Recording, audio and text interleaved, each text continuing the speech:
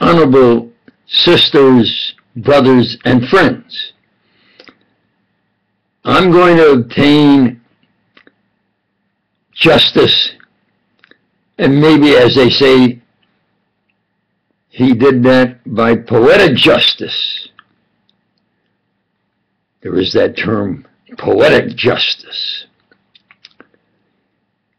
If the whore house was of sound mind, and if the whore house was of sound soul, if the is thought with their head and not behind, then a solution could bring them under control.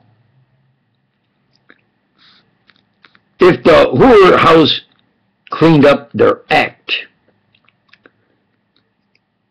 if the whore house was honest and not vain, if the whorist offered overdue honor in their contact, then a solution could remove their stigma, they're criminally insane.